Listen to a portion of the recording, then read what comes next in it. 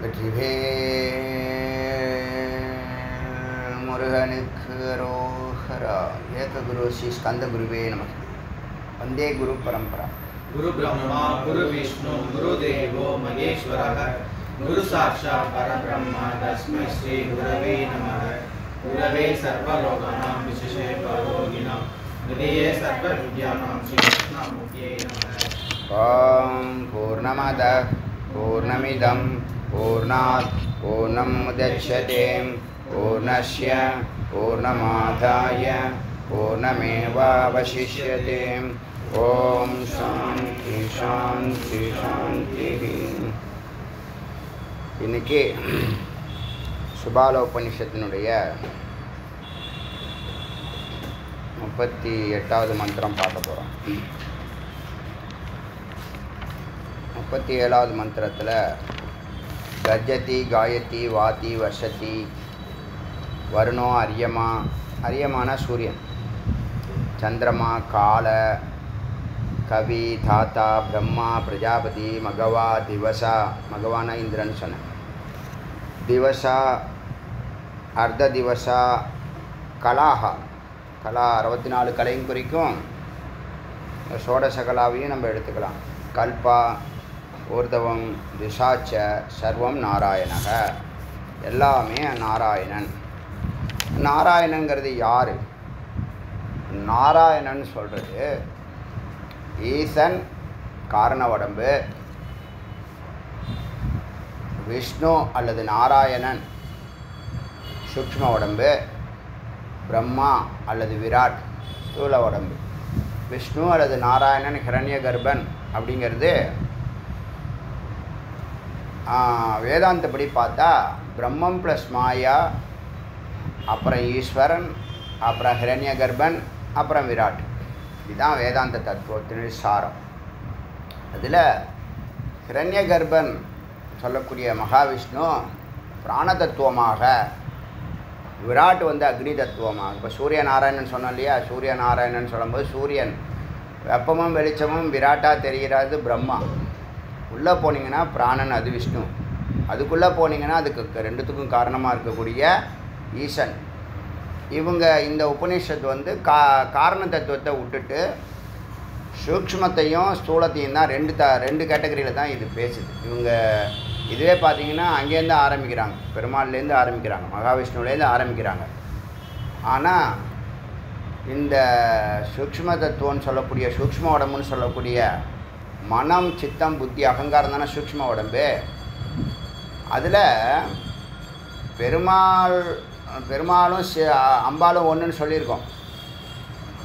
அம்பாள்னு சொன்னால் திரிகுணாத்மிகா மாயான்னு ஒரு மகா வாக்கியம் இருக்குது மூன்று குணங்களை உடையவள் மாயை. அதே மூன்று குணங்களை உடையவன் மாயோன்.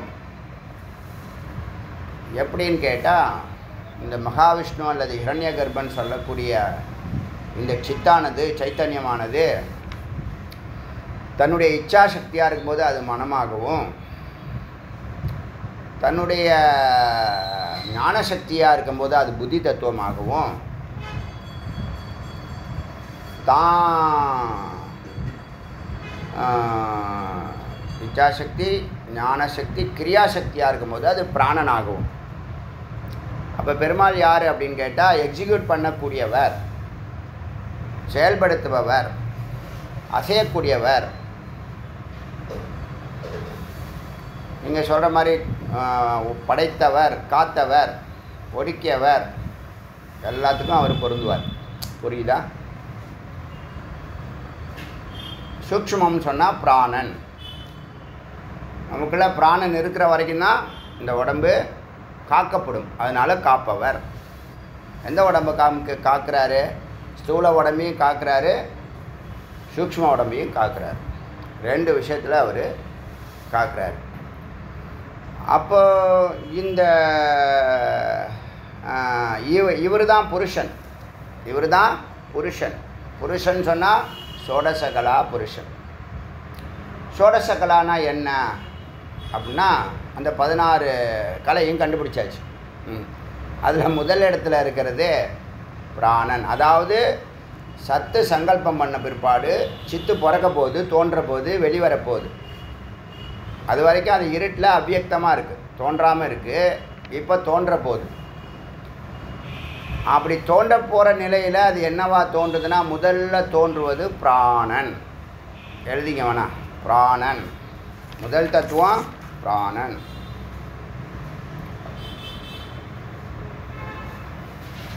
அதுக்கப்புறம் இந்த வாழ்க்கையில் ஒரு நம்பிக்கை இருக்கணும் இல்லையா?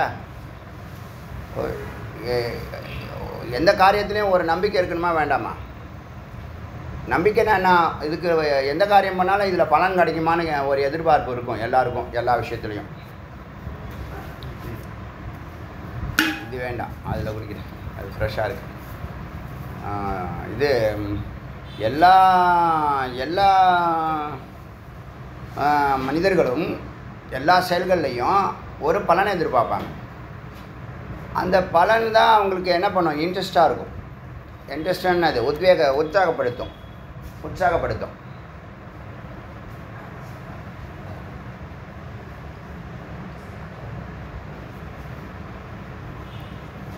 உற்சாகம் இருந்தால் தான் அவன் செயல்படுவான். அந்த உற்சாகத்தை கொடுக்கறதுக்கு பலன் கிடைக்கும்னு ஒரு நம்பிக்கை இருக்குல்ல? அது பேர் சிரத்தைன்னு பேர். நிச்சயமாக கிடைக்கும். அப்படின்னா அவன் தொடருவான். இல்லைன்னா அவன் தொடர மாட்டான் அந்த ஸ்ரத்த அப்படிங்கிற ஒரு கலா முதல்ல பிராணன் ரெண்டாவது ஸ்ரத்தா. மூணாவது பஞ்சபூதம் ஆகாயத்திலிருந்து நிலம் வரைக்கும். காற்று நெருப்பு நீர் நிலம் வரைக்கும் ஒரு அஞ்சு தத்துவம். மொத்தம் ஏழாச்சா? அப்புறம் இந்த பஞ்சபூதத்தினுடைய தன்மாத்திரான்னு சொல்லக்கூடிய இந்திரியங்கள். நமக்குள்ளே நம்ம நம்மள்கிட்ட இருக்கிற ஞானேந்திரிய கர்மேந்திரியங்கள். பத்து உறுப்புகள் இருக்கு இல்லையா? பார்க்குற சக்தி கேட்குற சக்தி இதெல்லாம் புலன்கள். அதான் இந்திரியங்கள்னு சொல்கிறது அது ஒன்று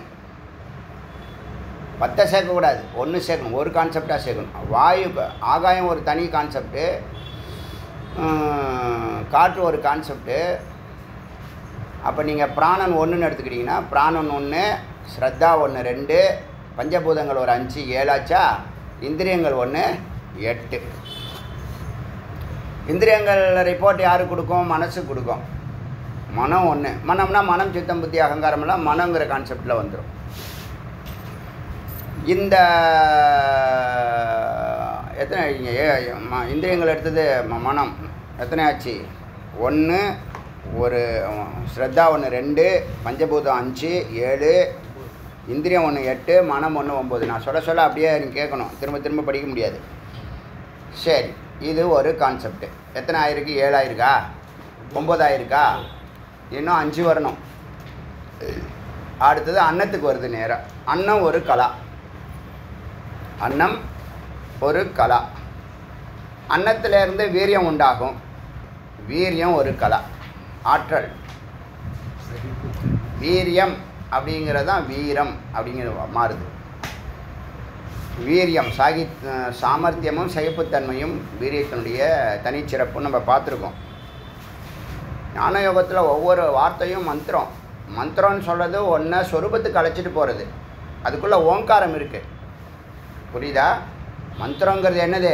இப்போ எப்படி ஒரு குரு வந்து ஒரு வாக்சக்தினால் ஒருத்தனுக்கு முக்தி கொடுக்க முடியும்? தொட்டால் முக்தி கொடுக்க முடியும். பார்வையினால் முக்தி கொடுக்க முடியும்னு வேதம் சொல்லுதே. ஆச்சரியமாக இருக்கே. சில பேர் இந்த ஆடியோ கேட்குறவங்க அப்படியே சாரமாக உள்ளே இறங்குதுஜி அமிர்தமாக இறங்குதுஜின்னு சில பேர் சொல்கிறாங்களே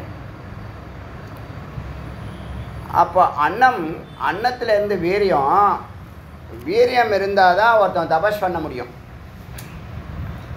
வீரியம் இருந்தால் தான் தபஸ் பண்ண முடியும். வேதா கிளாஸ் ஏன் வர முடியலன்னா வீரியம் இல்லைன்னு அர்த்தம். அது ஒரு தவம். வே வேல் பூஜைக்கு ஏன் வர முடியலன்னா வீரியம் இல்லைன்னு அர்த்தம். அப்போ ஒருத்தவனும் வீரியத்தை ப்ரொடெக்ட் பண்ணணுங்கிற ஞானம் இல்லை. ஒருத்தவனும் தபஸ் பண்ணுறதில்ல அதனால் உயர்வான எந்த லட்சியத்தையும் அவன் அடையிறதில்லை.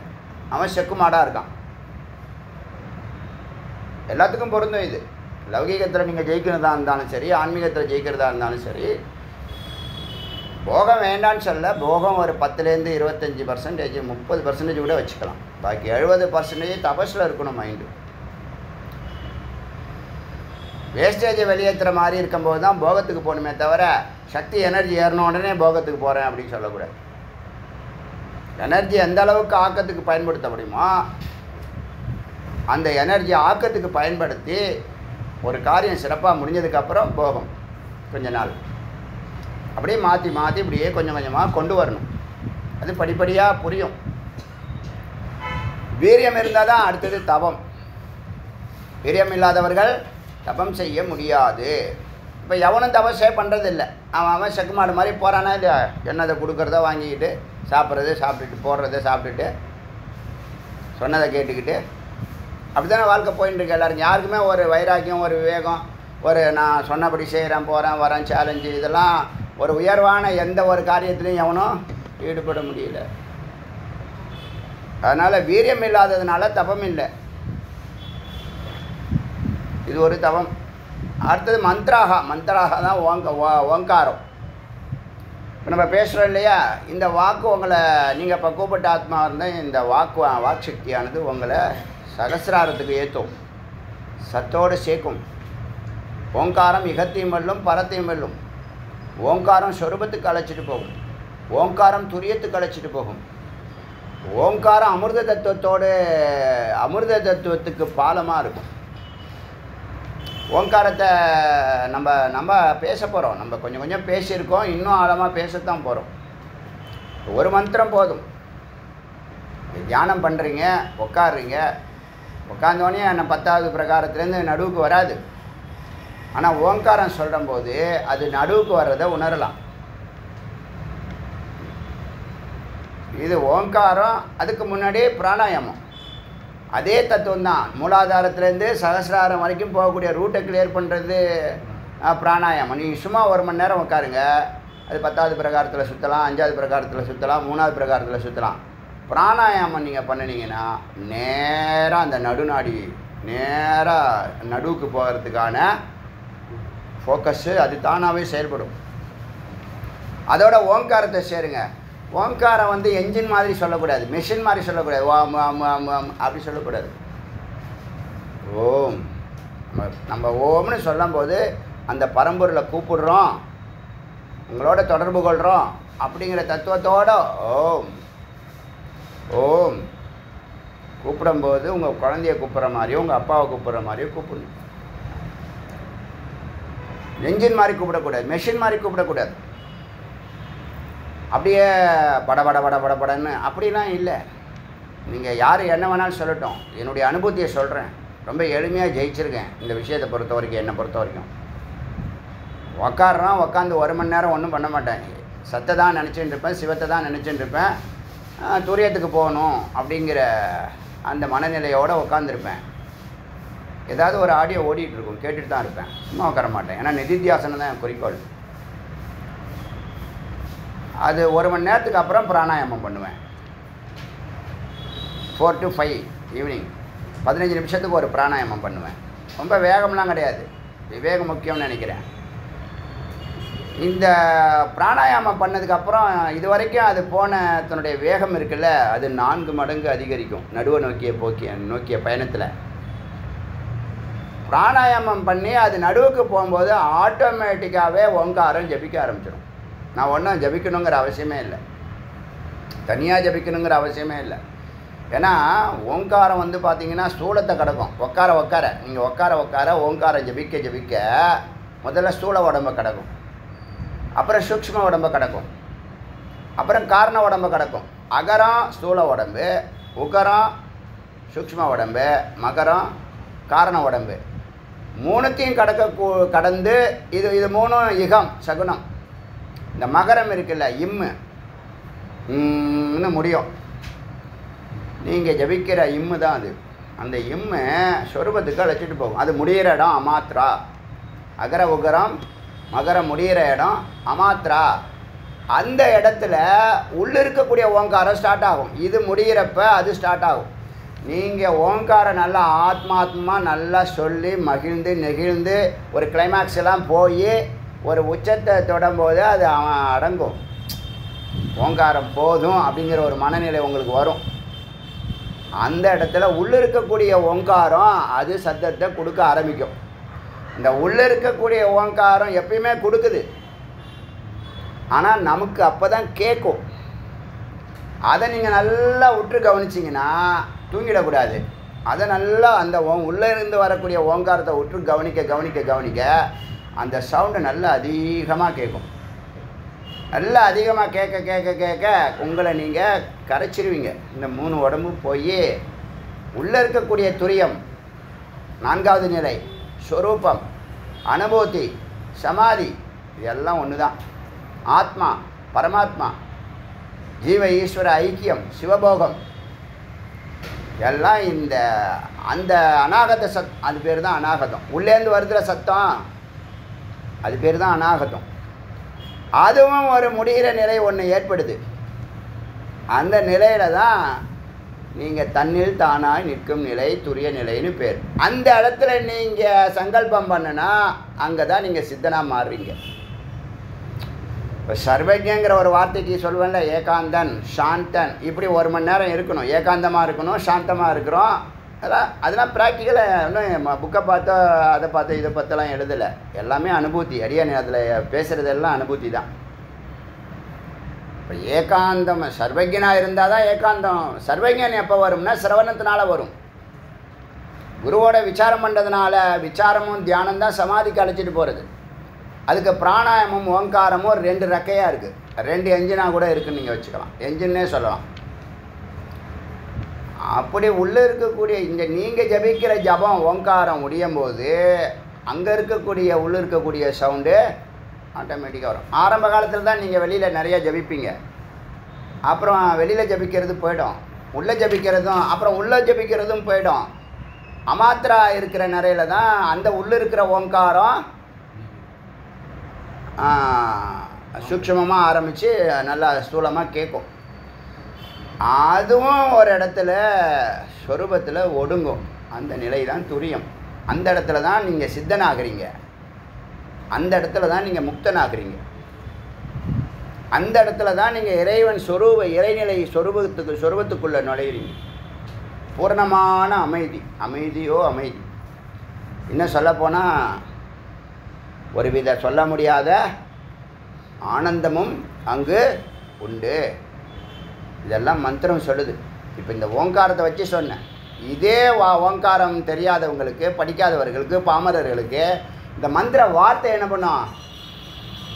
இப்போ பெரிய ஞானிகளையெல்லாம் நீங்கள் பார்க்குற சந்தர்ப்பம் வந்துச்சுன்னா இப்போ ராஜா அந்த காலத்தில் என்ன பண்ணுவாங்கன்னா ரா- ஏதாவது ஒரு சாது வராங்க வெளியூர்லேருந்து என்ன அவங்கள மு- பூர்ண கும்பம் வச்சு யானை வச்சு மரியாதை பண்ணி அங்கே தங்க வச்சு எங்களுக்கு இடம் கொடுத்து சாப்பாடு கொடுத்து எல்லாம் பண்ணி என்ன கேட்பானா ஏதாவது ஒரு உபதேசம் சொல்லிட்டு போங்க அப்படின்னு கேட்பாங்க. அந்த வார்த்தையை அவங்க பூரணமாக அவங்கள ஆட்சி செய்யும். அது பேர் நிதித்தியாசனம். ராஜாவுக்கு நிதித்தியாசனம் என்னன்னு தெரியுமா? தெரியாது. ஆனால் அதையே சிந்திக்க சிந்திக்க அது நிதித்தியாசனம். அது எங்கே கொண்டு போனால் சொருபத்துக்குள்ளே கொண்டு போயிடும். சத்துக்குள்ளே கொண்டு போயிடும். எல்லாம் சத்தில் தான் இருக்குது ஒரு நிலையில் சர்வஜன் ஒரு ஒரு நிலையில் சர்வஜன் அப்படிங்கிற ஒரு ஒரு பாயிண்ட் இருக்குது ஒரு புள்ளியில் சர்வசித்திங்கிற ஒரு பாயிண்ட் இருக்குது ஒரு புள்ளியில் சிவ சிவபோகம்ங்கிற பாயிண்ட் இருக்குது ஸ்வரூப்பங்கிற பாயிண்ட் இருக்குது முக்தன்கிற பாயிண்ட் எல்லாம் எல்லா எல்லாம் சத்தில் இருக்குது அங்கே அழைச்சிட்டு போகிறது தான் இந்த மந்திரம். அதனால் மந்த்ராகாங்கிற வார்த்தையை பதினாறு கலைகளில் சோடச புருஷனை பற்றி பேசிட்டு வர நீங்கள் லேட்டாக வந்ததுனால முன்னாடி உள்ளதை கேட்டுங்க அப்போ தான் புரியும்.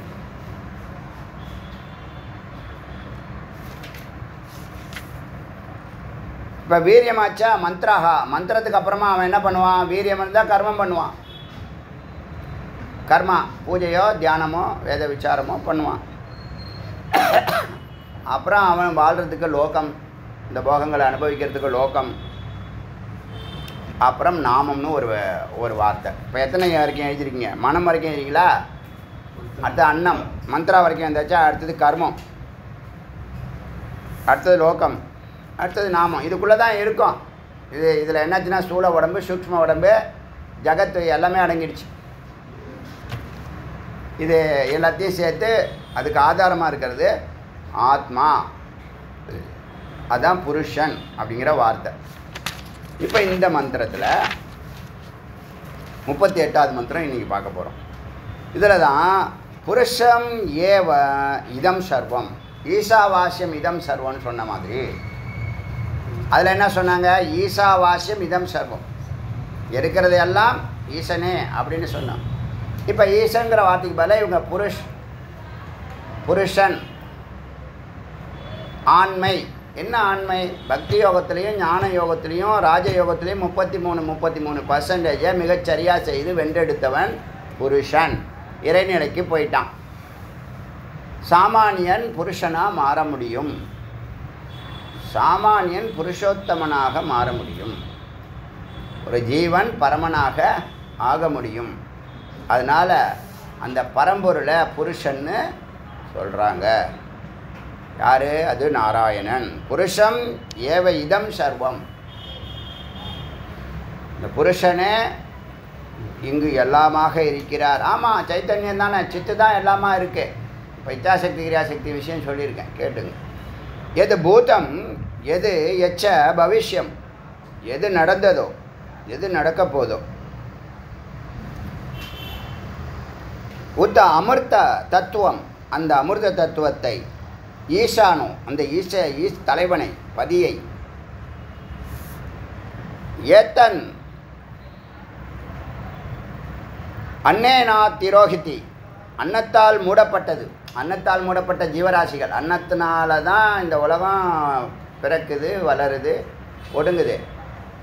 எதை மூடி வச்சிருக்குன்னா இந்த ஆத்மாங்கிற உயிரை மூடி வச்சிருக்கிறது. எது அண்ணா அன்ன அன்னேன திரோகித்து அதி எது அன்னத்தினால் மறைக்கப்பட்டிருக்கிறதோ அன்னமய கோஷம் பிராணமய கோஷம் பஞ்சபூதங்க பஞ்சபூதங்கள் எல்லாம் சேர்ந்து அந்த உயிரை மறைச்சிருக்கு இல்லையா? தது விஷ்ணு. எதெல்லாம் அன்னத்தை சாப்பிட்டு வளருது பிறக்குது வளருது மடியுது. எதெல்லாம் அன்னத்தினால் வளர்ந்ததோ புத்தி தத்துவமாக இருக்கோ மனம் தத்துவமாக இருக்கோ ஸ்தூல உடம்பாக இருக்கோ சூக்ஷ்ம உடம்பாக இருக்கோ அதுக்கு உட்பொருளாக எது இருக்கோ தது விஷ்ணோஹோ. உட்பொருளாக என்ன இருக்கு? ஆத்மா. இப்போ நம்ம புரியறதுக்காக எப்படி சொல்லுவோம்னா ஆத்மா பரமாத்மான்னு சொல்லுவோம். பரமாத்மா யாருன்னா சத்து. ஜீவாத்மா இல்லது ஆத்மான்னு சொன்னால் சித்து. சித்து உடம்புக்குள்ளே இருக்குது சத்து எங்கும் இருக்குது உள்ளேயும் இருக்குது வெளியேயும் இருக்குது அது என்னது? சத்து. உடம்புக்குள்ளே மட்டும் நீங்கள் திங்க் பண்ணுறது உங்களை மட்டும் நீங்கள் திங்க் பண்ணுறீங்களா பர்சனலாக திங்க் பண்ணால் சித்து. சமஸ்டியாக திங்க் பண்ணிங்கன்னா சத்து. இப்போ சித்து சத்தோட சேரணும். தனி மனிதன் சமுதாயமாக மாறணும். வியஷ்டி சமஷ்டியாக மாறணும். ஒரு நதி கடலாக மாறணும். ஒரு மனிதன் பரம்பொருளாக மாறணும். எத் பூத்தம் இது பார்த்தோமா தது தது விஷ்ணோகோ. பரமபதம் சதா பஷ்யந்தி சூரியகா சூரி ஒன்று வார்த்தை சொன்னமே. குரு யோகிகள் ஞானிகள் சித்தர்கள் ரிஷிகள் அவங்களுக்கு ஒரே ஒரு வார்த்தை இருக்குன்னா அது பேர் சூரி. அந்த சூரியக சதா பஷ்யந்தி பரமபதம். அந்த பரம் பரமபதத்தினுடைய திருவடியை சதா பார்க்கிறார்கள். பார்க்கிறாங்கண்ணா சிந்திக்கிறாங்க. ஒருத்தவன் சமாதிக்கு போகிறது வழி என்ன தெரியுமா? ஒன்றை மட்டும் சிந்திக்கணும். நீ பாக்கியெல்லாம் அவசியம் இல்லை. நீ சொரூபத்துக்குள்ளே இருந்தால் நீ உன்னுடைய ஆத்மாவில் உன்னுடைய சத்தில் நீ இருந்தால் சித்தாகிய நீ உனக்குள்ளே இருக்கக்கூடிய சத்தோடு இருந்தால் நீ சொரூபம்.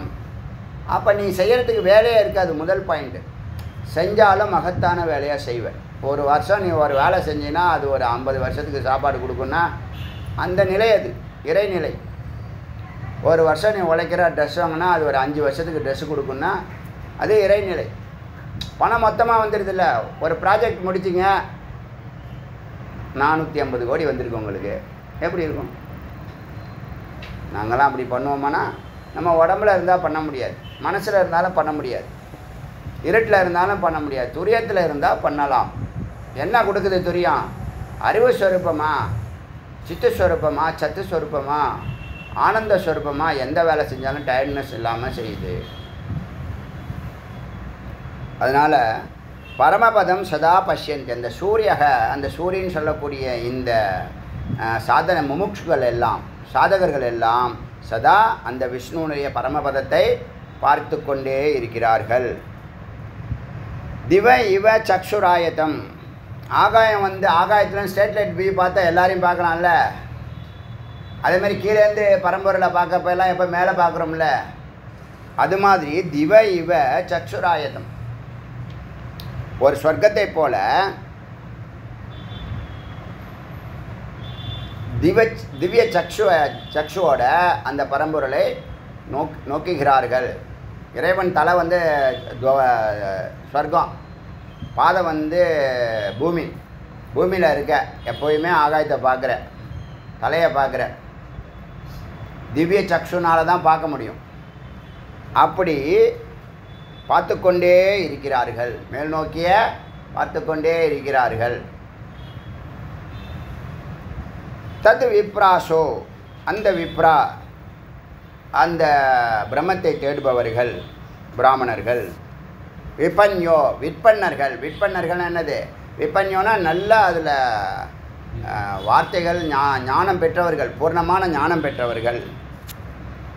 ஜாகிருவாம்ச விழிப்பு நிலையில் இருப்பவர்கள் அறிவுக்கண் திறந்தவர்கள் உயிர்கண் திறந்தவர்கள் சமிந்தோ சாதகர்கள் விஷ்ணோர் எத் பரம்பம் பதம். அந்த விஷ்ணுவுடைய பரமபதத்தை நோக்குகிறார்கள். இந்த விஷ்ணுவை சத்தாகவும் மனிதர்களை சித்தாகவும் இவங்க கற்பனை. புரியுது? எப்படி வேணாலும் எடுத்துக்கலாம். சித்து சத்து வேற இல்லையா?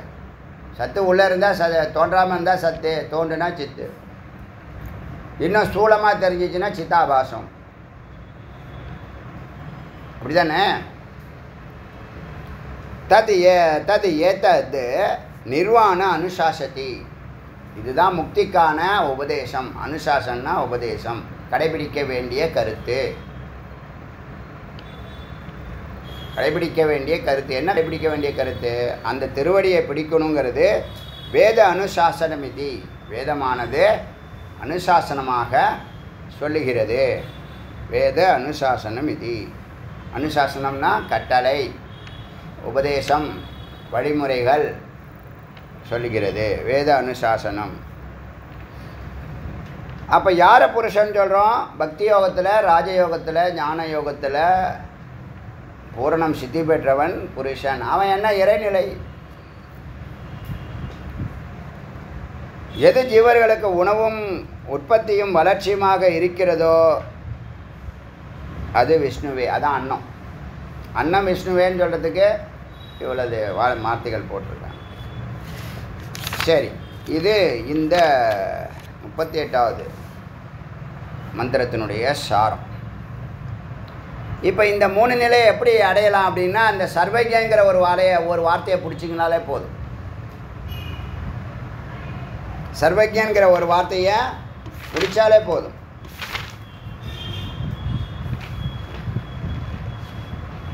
துரியம் செல்வ சர்வஜ நிலை. சர்வஜ நிலைக்கு விசாரமும் தியானமும். அதற்கு குருவும் சிரவணமும். இது துரியத்துக்கு போகிறதுக்கான துரியங்கிறது என்னது? உன்னுடைய ஸ்தூல உடம்புல நோய் பாக்டீரியா பசி தாகம் இல்லாத நிலை. சூக்ஷ்ம உடம்புல காமக்ரோதாதிகள் டார்ச்சர் இல்லாத நிலை. காரண உடம்புல பயம் பதட்டம் குழப்பம் இருட்டு இல்லாத அஜானம் இல்லாத நிலை. ஏன்? அங்கே இருட்டுக்கெல்லாம் நீங்கள் வித்யாவை கொடுத்துக்கிட்டே இருக்க. என்ன இருக்கு? ஒவ்வொரு மந்திரமும் என்ன பண்ணுது? ஒரு ஒரு விளக்கை ஏற்றுத ஆயிரம் விளக்குள்ள ஒரு ரூம்னு வச்சுங்க அந்த காரண உடம்பு. ஒவ்வொரு விளக்கா நீங்கள் என்ன பண்ணுறீங்க ஆன் பண்ணிகிட்டே வரீங்க. ஆயிரம் விளக்கு தொள்ளாயிரத்தி தொண்ணூத்தொம்பது தொட்டாச்சு. வெளி எப்படி இருக்கும் உள்ள வெளி வெளிச்சம்? அந்த வெளிச்சத்தில் தான் நீங்கள் ஆயிரம் கோடி ஆத்மா ஒளிப்பொருள்னா ஏன் விளங்கலைன்னு கே கேட்குறோமா இல்லையா? அடியனுக்கு இதெல்லாம் ஒரு வார்த்தை இந்த வார்த்தையை சிந்திக்கவும் தோணுது செயல்படுத்தவும் தோணுது. நான் பலமுறை சொல்லியிருக்கேன் வார்த்தைகள்லாம் செஞ்சு பார்ப்பேன்னு சொல்லியிருக்கேன். ஒரு இரநூறு ஆடியோ முந்நூறு ஆடியோக்கு முன்னாடி கேட்டு பாருங்கள் எதெல்லாம் ஒரு சேலஞ்சாக இருக்கோ அதெல்லாம் செஞ்சு பார்க்கணுன்னு தோணும். நம்ம மனசை தொடும். நம்மளுடைய உயிரை தொடும் சில வார்த்தைகள் மந்திர வார்த்தைகள். அதை செஞ்சு பார்ப்போம். அதில் ஒன்று தான் இந்த ஆத்மா ஒளி பொருள் நறுமணப் பொருள். அப்போ ஏன் விளங்கலை? அப்போ எது மறைக்குது? ஏதோ ஒன்று மறைக்குதுல்ல? அதை விளக்கணும். அதை நீக்கணும். அதை எரிக்கணும். உபாதிகள் தான் அதை மூடி வச்சிருக்கு. அதை நம்ம அறியணும். இப்போது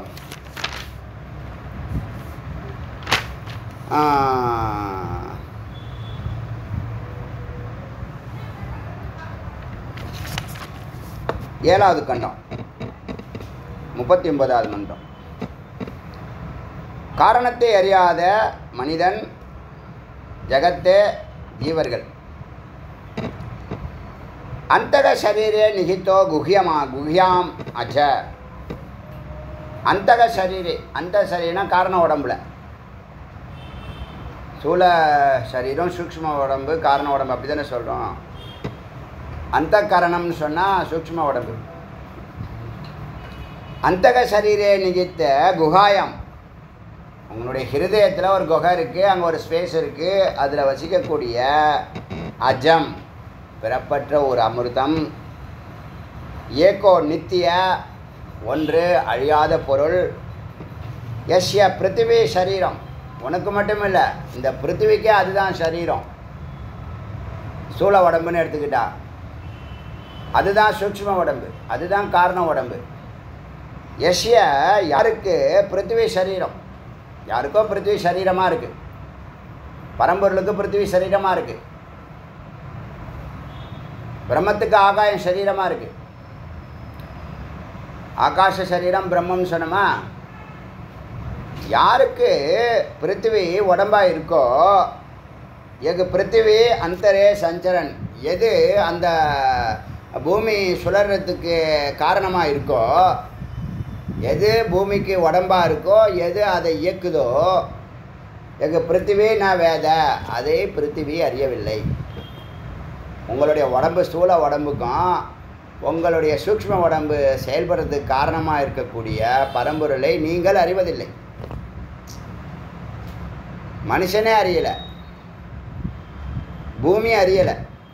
எது யார் எந் எந்த பொருளுக்கு பூமி உடம்பாக இருக்கோ எந்த காரணத்தினால பூமி இயங்குதோ அந்த பூமி அந்த காரண பொருளை அறியவில்லைன்னு அர்த்தம். மறைப்பொருளை இப்போ எது மறைஞ்சிருக்கோ அதனை சூக்ஷ்மம் அதுபோல் எக பிருத்திவி யச ஆபக யாருக்கு இந்த வா- வாட்டர் எல்லாம் உடம்பாக இருக்கும்? சரீரம். ஆப்பக சரீரம் நீர் உடம்பு. இந்த அஞ்சு உடம்பு இருக்குல்ல? நம்ம வந்து சுத்த தேகம் ஞான தேகம் இப்போ சுத்த தேகம் பிரணவ தேகம் ஞான தேகம் தானே வாயு தேகம் இருக்குது ஜல தேகம் இருக்குது அது நம்ம பேசுகிறது அக்னி தேகம் வந்து வ- இந்த வேல் பூஜையில் வருதில் அக்னியில் உடம்பு இருக்கு. தேவர்களுக்கு உடம்பு எப்படி காமிக்குது? அக்னியா? சிலது தான் ஃபோட்டோ வருது இன்னும் கொஞ்சம் அது அடுத்த லெவல் ஆரம்பத்தில் என்ன வந்துச்சு? அக்னி தேவர்கள் தான் வந்தாங்க அந்த பூஜைக்கு. அவங்க ஃபோட்டோவில் எல்லாம் ஸ்ட்ரக்சர் இருக்கும் முகம் இருக்கும் கண் இருக்கும் காது இருக்கும் எல்லாம் நெருப்பாகவே இருக்கும். அக்னி சரீரம்னு பேர். பிராண சரீரம் தான் உதான வாயு. புரியுதா?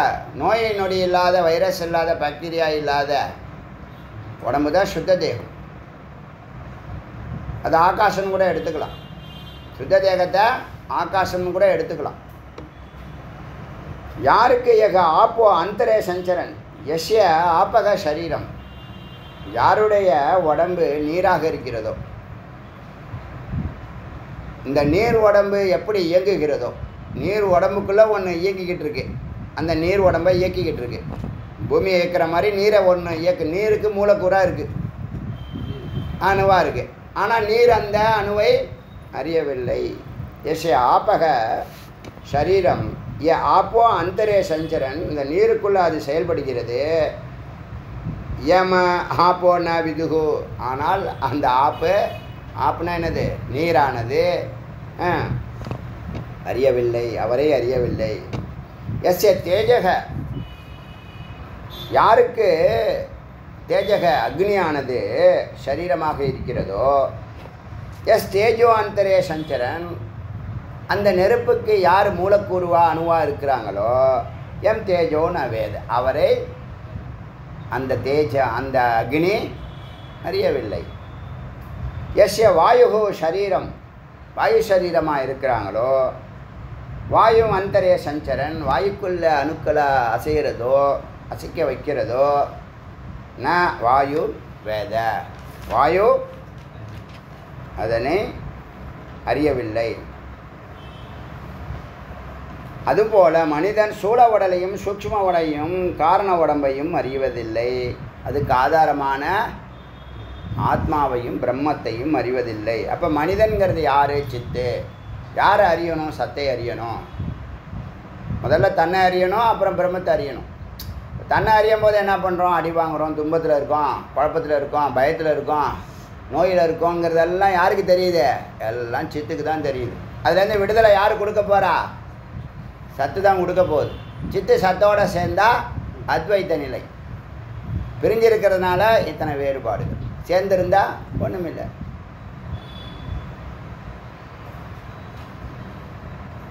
இப்போ இந்த உடம்ப இத்தனை பேரை இயக்குதில்ல? எல்லாம் பிராணன்.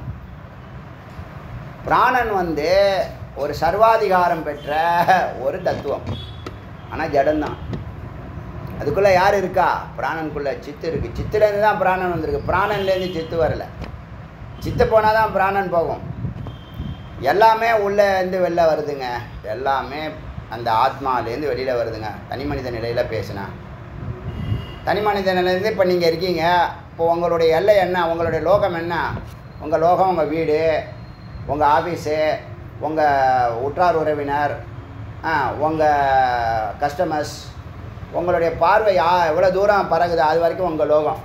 இது எஸ்டி இதே மாதிரி நூறு பேர் இருக்கான் அவன் அவனுக்கு லோகம் இருக்குமா? இருக்குமா இருக்காதா? அதுதான் இப்போ நம்ம பார்க்குற உலகம். இப்போ இந்த லோகமெல்லாம் நீங்கள் பத்து பேரும் நூறு பேரும் நீங்கள் நைட்டு படுக்க போயிட்டீங்கன்னா எல்லா லோகமும் ஆஃப் எல்லாம் சூன்யம்தான் இருக்கும். அதில் சூன்யமாக இருக்கிறது யார்? சூன்யமாக இருக்குது சூன்யமாக இருக்குன்னா ஒன்றும் அறியவில்லைன்னு இருக்குது நீ இருட்டுக்குள்ளே போயிடுற. தூக்கத்தில் எங்கே போகிற இருட்டுக்குள்ளே போகிற எப்படா தூங்கு? நல்லா தூங்குனேன் மழை பெஞ்சு தெரியுமா? தெரியாது. நல்லா தூங்குன தெரியுது. மழை பெஞ்சது தெரியாது.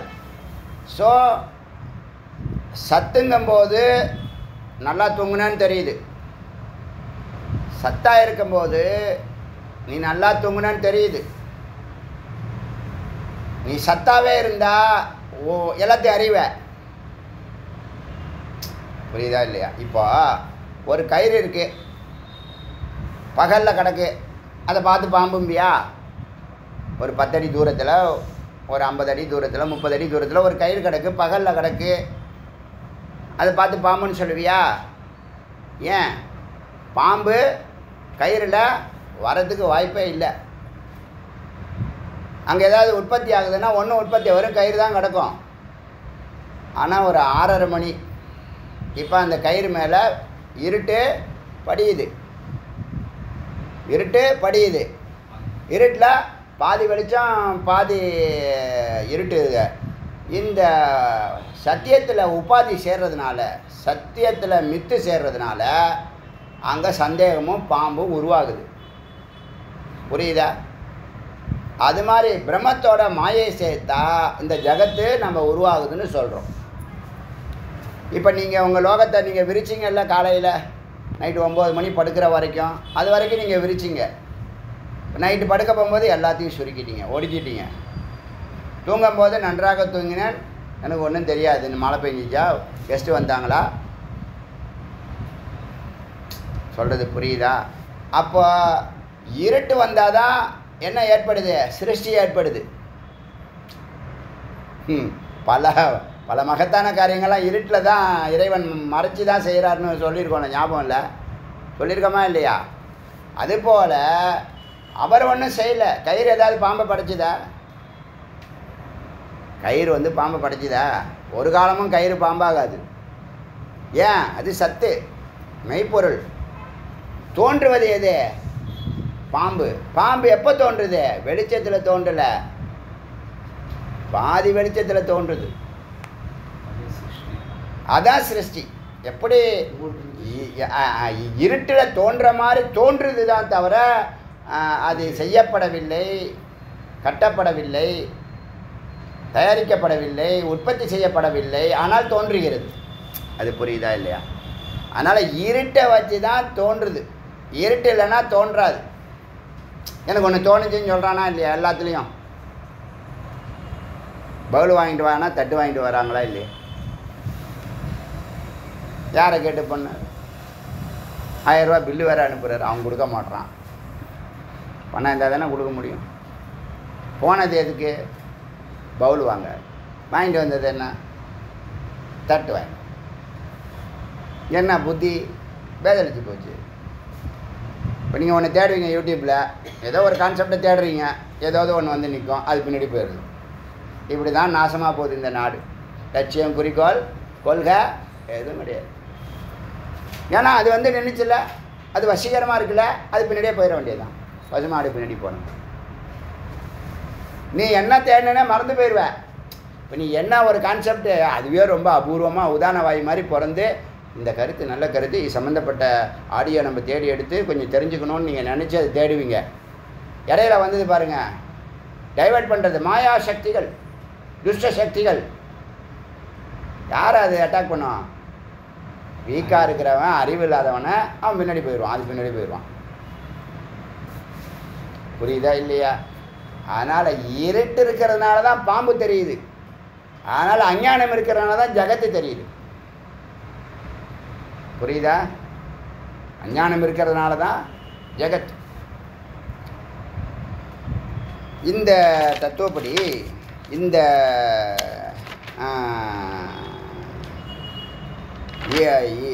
சத்தானது மாயாவோட சேர்ந்தவனைய முதல்ல பிறக்கிறது ம், ஜா முதல்ல பிறந்தது இந்த பிராணன் சர்வாதிகாரம் பெற்ற பிராணன்.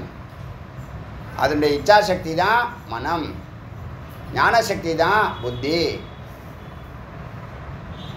கிரியாசக்தி தான் பிராணன். இந்த மூணு சக்தி தான் மாயை. இந்த மூணு சக்தி தான் மாயோன். புரியுதா?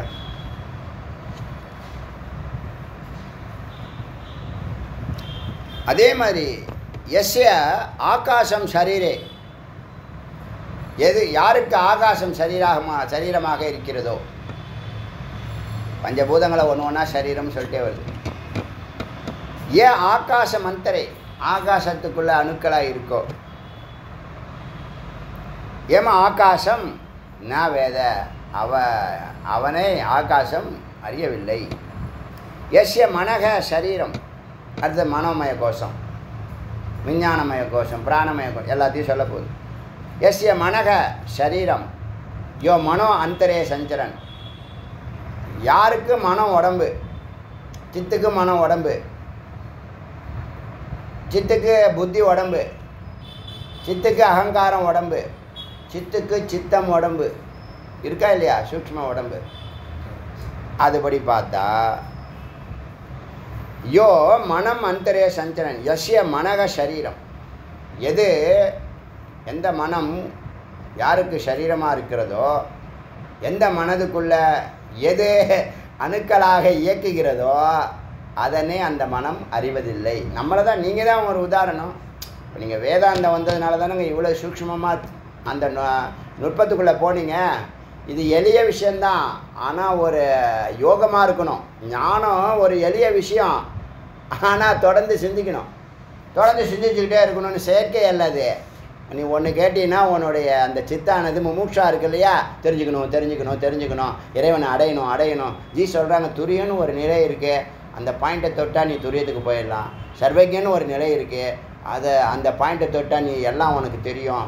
சர்வசித்தின்னு ஒரு நிலை இருக்குது அந்த பாயிண்ட்டான கற்பனை கதையாது அடியேன் செஞ்சு காமிக்கிறேனா இல்லையா? சொல்லுங்கள் இல்லை ஜி எங்களுக்கு கதை சொல்லிட்டு நீங்கள் ஒன்றுமே செய்கிறது இல்லையான்னு. இருக்காது மாதிரி. அடியன் பேசுகிறதெல்லாம் கடந்து வந்தது.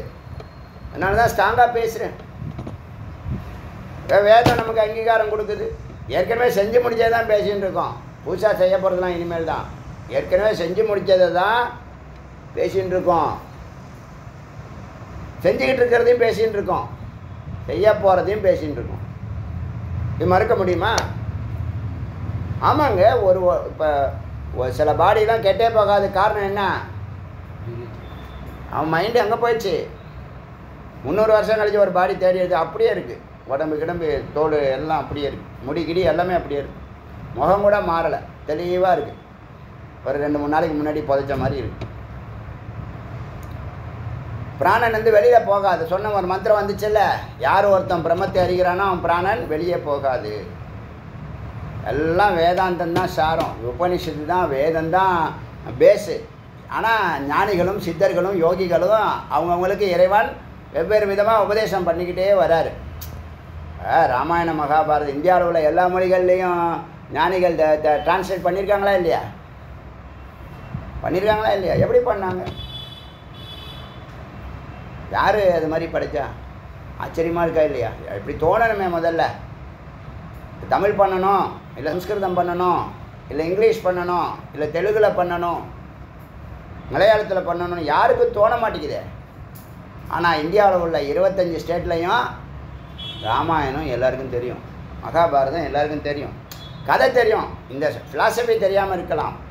கதை தெரிஞ்சால் ஃபிலாசபி இன்டைரக்டாக தெரியும். ம், இது செய்யக்கூடாது இது செய்யணுங்கிறது தான் வரும். டூஸ் டோன்ஸ் தான் வரும். அதனால் மனோ அந்தரன் மனதுக்குள்ளே இருந்து ஒன்று இயக்குது. யார் ம யாருக்கு மனம் உடம்பாக இருக்கோ யார் மனதை இயக்குகிறாரோ அந்த பொருளை இந்த மனது அறிவதில்லை. சித்துக்கு மனம் ஒரு சரீரம். ஆடை. ஆடைன்னு சொல் ஆடை தமிழ் ஆடை. யஷ்ய புத்தி அடுத்தது. யாருக்கு புத்தி சரீரமாக இருக்கிறதோ வி- விஞ்ஞானமய கோஷத்துக்கு போயிட்டான். அடுத்தது ஆனந்தமய கோஷம். விஞ்ஞானமய கோஷத்துக்கு போயாச்சு. எஸ்ய புத்தி சரீரம் சித்துக்கு புத்தி சரீரமாக இருக்குது புத்தியை சித்து இயக்குது. ஆனால் புத்தி சித்தை அறிய முடியவில்லை. புரியுதா? புரியுதா இல்லையா? புத்திக்கு அப்பாற்பட்ட விஷயந்தான் சித்துங்கிறது. அது இறைவனுடைய கருணையினால் கிடைக்குது. குரு கிருப்பா ஈஸ்வர கிருப்பா சாஸ்திர கிருப்பான்னு சொல்கிற மாதிரி புத்தியால் மனசால் அகங்காரத்தினால் சித்தத்தினால் அடைய முடியாத ஒரு பொருளை குருவை வச்சு பக்குவமாக சொல்லி கொடுக்குது. இப்போ நான் பேசலாம் நீங்கள் கேட்கலாம். யாருக்கு உள்ளே போகுமோ அவங்களுக்கு தான் உள்ளே போகுது. எதுவும் கற்பனையும் கதையும் இல்லை எல்லாத்தையும் அடியேன் செய்து காமிக்கிறேன்னு சொல்லியிருக்கேன். ஒன்று ஒன்றா செஞ்சுக்கிட்டு தான் இருக்கோம். காரணம் என்ன? காரணம் என்ன? ஏற்கனவே கடந்த நிலை. அனுபவத்தை கடந்து அனுபூத்தி கடந்து நிற்கிறோம் இப்போ. ஆரம்பமே இப்படி இருக்குது ஆயிரத்தி ஐநூறு ஆடியோக்கே இவ்வளோ பவர் இருக்குது மொத்த ஆடியோ கேட்டால் எப்படி இருப்பான் ஒருத்தன்? ஆனால் செய்ய மாட்டான். ஏன்? ஏன்? தபஸ் பண்ணணும். தபஸ் பண்ணாமல் உள்ளே போக முடியாது. நெருப்பு அது. தபஸ் பண்ணணும். தபஸ் நீ பண்ண மாட்ட. ஏன்னா உங்ககிட்ட வீரியம் இல்லை. வீரியம் இருக்கணும்னா பிரம்மச்சரியம் வேணும். பிரம்மச்சரியம் இருக்கணும்னா நீ வந்து டிசிப்ளின்ஸ்லாம் சொல்லி கொடுப்பாரு. அதனால் ஒருத்தவன்ட்டையும் வீரியம் இல்லை. அதனால் ஒருத்தவனும் தபஸ் பண்ணுறதில்ல அதனால் ஒருத்தனும் இறைவனை அடையணுங்கிற புத்தி ஒரு கழுதைக்கும் வரமாட்டேங்குது. புத்தி அந்தரே சஞ்சரன் என் புத்தி நான் வேத. இந்த புத்தி அந்த பரம்பொருளை அறிய முடியவில்லை. எஸ் அகங்காரம். எது? அகங்காரம் இறை குணம் தானா இறை குணம்னா என்னது? இறைவனுடைய நெகட்டிவ் குணம். யார் இப்போ மனுஷன்ட்ட இருக்கல? இறைவனுக்கு குணமே கிடையாது. மனமும் கிடையாது. அவயவமும் கிடையாது. ஆனால் அது என்ன பண்ணுது? இருக்கிற மாதிரி காமிக்குது. இப்போ சொன்னால வெளிச்சத்தில் கயிறு கயிறு தான் எப்பயுமே அது கயிறு தான் எந்த காலத்துலேயும் பாஸ்ட் டென்ஸில் ப்ரெசன்ட் டென்ஸில் ஃபியூச்சர் டென்ஸில் எல்லா காலத்துலேயும் அது கயிறு தான் ஆனால் நாம் என்ன பண்ணுறோம் காலையில் கயிறுங்கிறோம் மத்தியானம் கயிறுங்கிறோம் சாயந்தரம் பாம்பாக இருக்குமோங்கிறோம். எஸ்ய அகங்காரக சரீரம் யாருக்கு அகங்காரம் உடம்பாக இருக்கிறதோ யோ அகங்காரம் அந்தரே சஞ்சரண எது இந்த அகங்காரத்துக்குள்ளே இருந்து இயக்குதோ யம அகங்காரம் இந்த அகங்காரம் அந்த இயக்க இயக்கக்கூடிய சித்தை அறிவ அறியவில்லை. யஷ்ய சித்தம் சரீரம். யாருக்கு சித்தம் சரீரமாக இருக்கிறதோ? சித்த சித்தம் இப்போ அகங்காரத்துக்குள்ளே போனால் அகம் வந்துடும் பரம்பொருள். அதே மாதிரி சித்தத்துக்குள்ளே போனால் உள்ளே போனால் சித்து வந்துடும் சித்த அகம் ரெண்டும் ஒன்று தான் வார்த்தைகள் தான் வெவ்வேறு.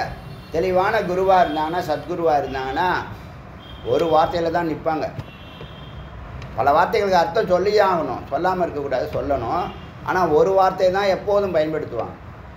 அப்போ தான் சிஷ்யர்கள் குழப்ப மாட்டாங்க. ஏன்னா இது குழப்பம். சாதாரண விஷயம் இல்லை. இந்த வேதம் இருக்க நிறையா கேம் ஆடுது. கொஞ்சம் அறிவு இருந்தால் தான் இது புரியும். எப்பேற்பட்ட மகானுபாவுக்கெல்லாம் தண்ணி குடிக்கிறான். தபஸ் பண்ணணும். அப்போ தான் புரியும். சித்தம் சரீரம் எஸ் சித்தம் அந்தரே சஞ்சரன். யாருக்கு சித்தம் சரீரமாக இருக்கிறதோ அப்போ இந்த ஒரு பொருள் தான் தொண்ணூற்றி ஆறு சட்டையை போட்டுக்குது. அதில் பிரதானமாக பதினாறு சட்டை.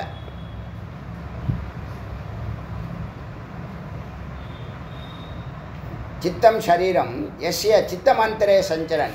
எது சித்தத்தை இயக்குகிறதோ இல்லை சித்தத்துக்குள் இயக்குகிறதோ எம் சித்தம் ந வேத. இந்த சித்தம் அதனை அறியவில்லை. எஸ்ய அவ்வியக்தம். இதுதான் வார்த்தை முக்கியமான வார்த்தை. அவ்வியக்தம். தோன்றவில்லை. விதை இருக்கு உள்ள அக்ஷரம் இருக்கு ஆனால் வெளிப்படலை. வைக்கரியா ஆகலை. ஓங்காரம் இருக்கு வெளிப்படலை. விதை இருக்கு குருத்து வரலை. எஸ்ய அவ்வியக்தம். இருட்டாக இருக்கு மாயா. மாயா தத்துவம் எங்கே போயிட்டோம்? பிராணனை கடந்துட்டோம். பொருட்கள்லேருந்து பொறிகளுக்கு வந்து புலன்களுக்கு வந்து அகங்காரம் மனம் புத்திக்கு போய் சித்தத்துக்கு போய் சித்துக்குள்ளே போகணும். சித்தாகி சத்தாக முடியும். இந்த சித்தாகிற வரைக்கும் நீ அறிவை வச்சு ஒன்றும் பண்ண முடியாது.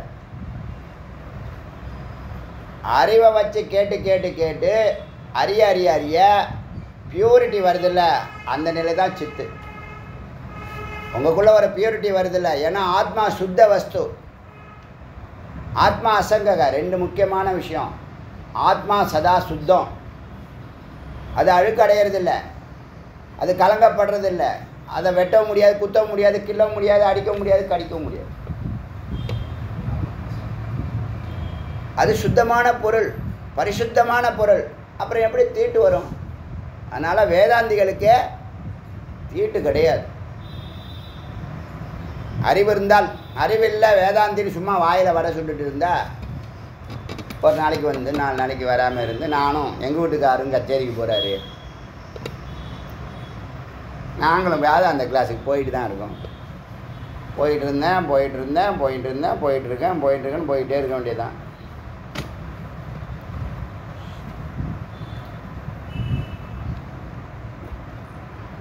அவ்வியக்தம் சரீர இப்போ பிரம்மத்துக்கு மாயா அவ்யக்தம் பிரம்ம மாயை பிரம்மத்தை மறைச்சிருக்கா? மேகம் சூரியனை மறைச்சிருக்கா? ஆனால் நம்ம என்ன சொல்கிறோம் மேகம் சூரியனை மறைச்சிச்சுன்னு சூரியன் சூரியனை யாரால் மறைக்க முடியுமா? நம்ம பார்க்குற பார்வை மேலே ப்ராப்ளம் இருக்குது மென்டல் ப்ராப்ளம் சூரியன் உதயமாகுதா அஸ்தமனமாகுதா கிடையாது. மறை இதாக கிடையாது. அதான் நாம் இடையில நம்மளுக்கு என்னென்னலாம் ஆதாரம் இல்லாமல் என்னென்ன பேச முடியுமோ எல்லாம் பேசிக்கிட்டு இருப்போம். அது மாதிரி அவ்வியக்தம்னா வேத. அந்த அவ்யக்தம் பரம்பொருளை அறிய முடியவில்லை. இருட்டு இறைவனை அறிய முடியுமா? அறிய முடியவில்லை. மாய இறைவனை அறிய முடியுமா? அறிய முடியுமா? அறிய முடியவில்லை. எஸ்ய அக்ஷரம் ஷரீரம் யாருக்கு ஓங்காரம் சரீரமாக இருக்கிறதோ அல்லது யாருக்கு விதை சரீரமாக இருக்கிறதோ இப்போ விதைக்குள்ளே ஓப்பன் பண்ணி பார்த்தா என்ன இருக்கும்? ஏதாவது ஒரு விதை சொல்லுங்க பார்க்கலாம். ஏதாவது ஒரு விதை சொல்லுங்க பார்க்கலாம். ம்? ஒரு வெண்டைக்காய். அதுக்கு ஒரு விதை இருக்கா? சின்னதாக பட்டாணி மாதிரி சின்னதாக இருக்குமா? அதை ஓப்பன் பண்ணி பாருங்கள் அதுக்குள்ளே என்ன இருக்கும். அதுக்குள்ளே சித்து இருக்கு. அதை புதைச்சி வைங்க. தண்ணி ஊற்றுங்க ரெண்டு நாளில் செடி வந்துடும் தெரியுமா? கண்ணுக்கு தெரியாது. உயிர் இருக்குன்னு தெரியுமா? தெரியாது. ஜேசி போஸ் தான் அதை கண்டுபிடிச்சார். தாவரங்களுக்கு உயிர் இருக்குங்கிறது. நம்ம ஜடம்னு சொன்னோம். எல்லாத்துக்குள்ளேயும் உயிர் இருக்கு. ஜட பொருளே உயிர் இருக்குங்கிறேன். எஸ்யா அவ்யக்தம் நேவேத வேத. எஸ்ய அக்ஷரம் சரீரம் யோ அக்ஷரம் அந்தரே சஞ்சரன். ஓங்காரம் யாருக்கு சரீரமாக இருக்கோ? எது ஓங்காரத்துக்குள்ள அகர உகரம் அகரமாக இருந்து துரியமாக இருக்கோ? இயக்குதோ ஓங்காரத்தை? அந்த ஓங்காரம் உள்ளே இருக்கக்கூடிய சைத்தன்யத்தை அறியவில்லை. ஓங்காரம் எனக்கு ஆதாரம் யார்? பிராணன். பிராணன் வரைக்கும் தான் ஓங்காரத்தால் அறிய முடியும். அதுக்கு ஆதாரமாக எது இருக்கு? பிராணன் எங்கேருந்து வந்துச்சு? ஆத்மாவிலேருந்து வந்தது. எல்லாமே ஆத்மாவிலேருந்து வந்தது. நீ வெளியில் போக போக துக்கம் உள்ளே வர வர ஆனந்தம். நீ ஆனந்தத்தை தான் நோக்கி வெளியில் போகிற ஆப்போசிட் ரூட்டில் போயின்னு இருக்க. புரியுதா? புரியுதா இல்லையா?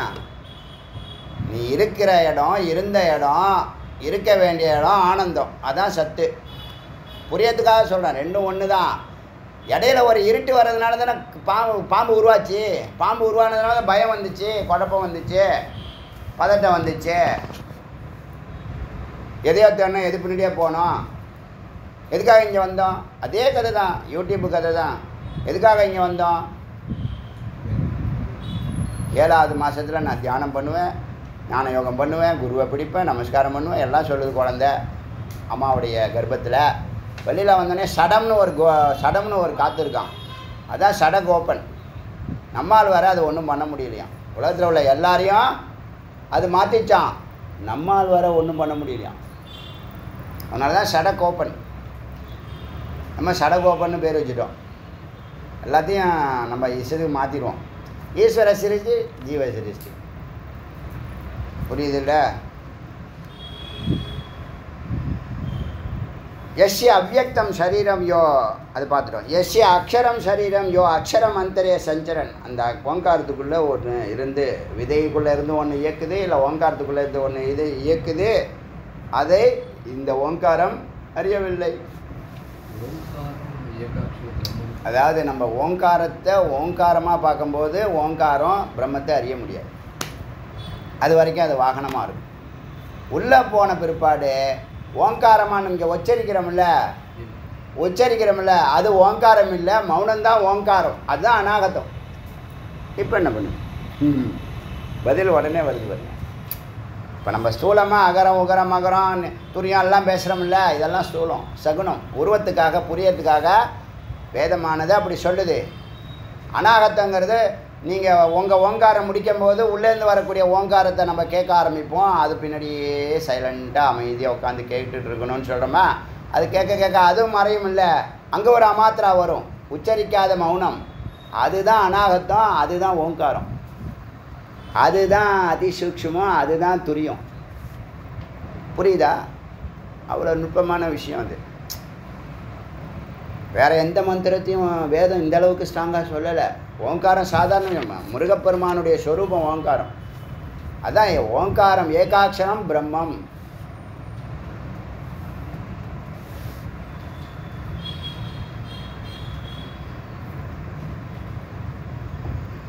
யஷ்ய மிருத்யுகு சரீரம். இது ஒரு நல்ல கிளாஸு. ரொம்ப ஸ்ட்ராங்கான கிளாஸ் இது. பல சூக்மத்தை ஒரே கிளாஸில் மந்திரங்கள் வெளிப்படுத்துறதுனால அடியேன்னு பேசிட்டு வரேன். நீங்கள் இந்த ஆடியோ திரும்பி கேளுங்க.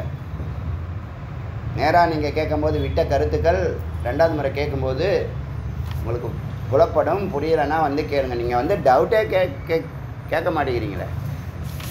கேட்டால் டவுட்டே இல்லைன்றீங்க. ஏன்னா அது உண்மையா பொய்யா? சரி உண்மையாகவே எடுத்துக்கொள்கிறேன். ஏன்னா ஒரு நாள் சும்மா இருக்கலாம். எல்லா நாளும் சும்மா இருந்தீங்கன்னா என்ன அர்த்தம்? புரிஞ்சிச்சுன்னு அர்த்தமா? இல்லை ஒன்றுமே புரியலன்னு அர்த்தமா? இல்லை பாம்பு கயிறா? இன்னும் நான் வந்தேன்னா வராட்டி என்ன? போனா என்ன போகாட்டி என்ன? அப்படின்னு இருந்தால் என்ன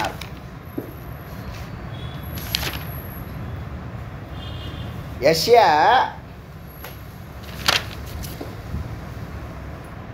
அக்ஷரோ நான் வேத யஷ்ய மிருத்யோ அடுத்தது யம.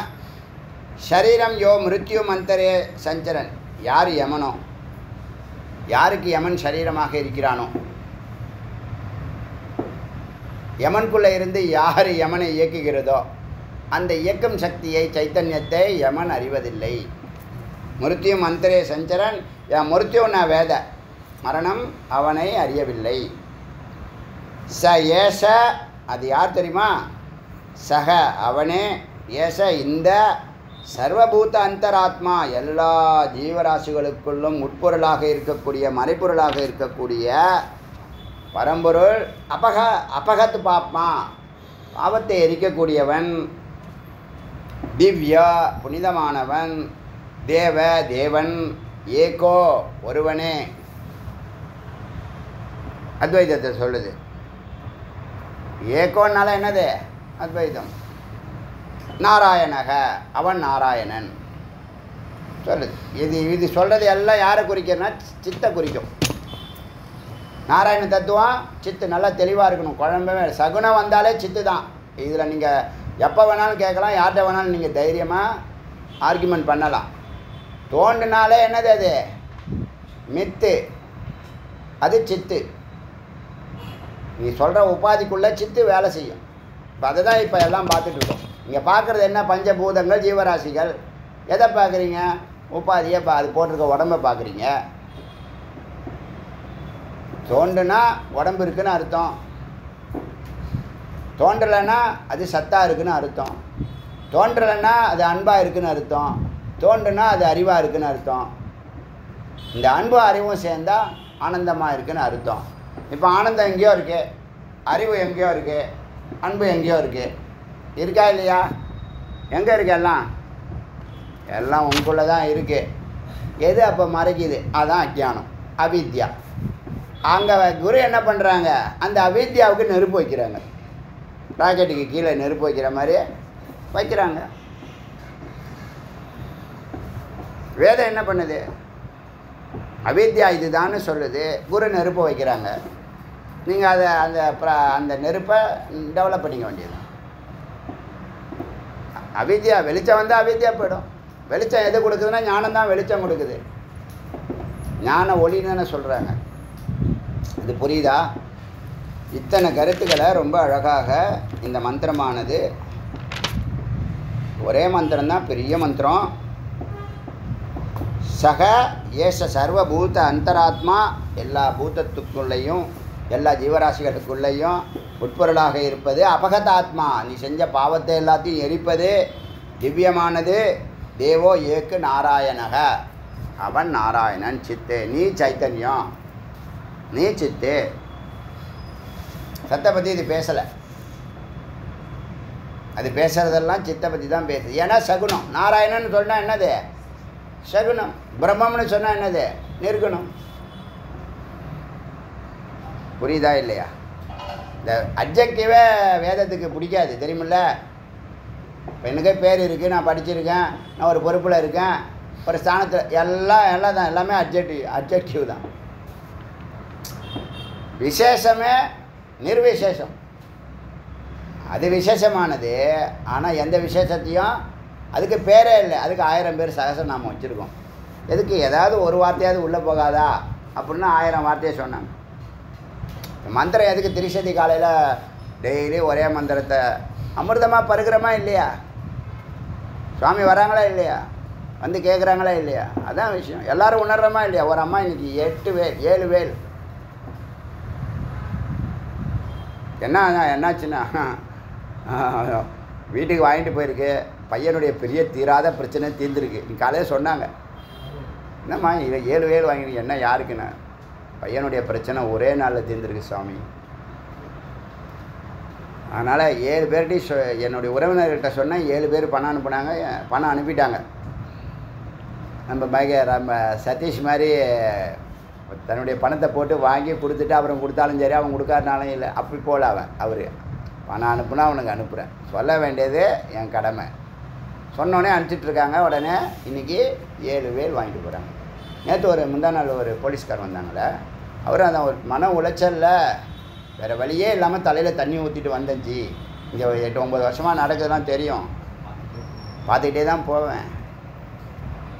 இன்றைக்கி வரணும்னு தோணுச்சு.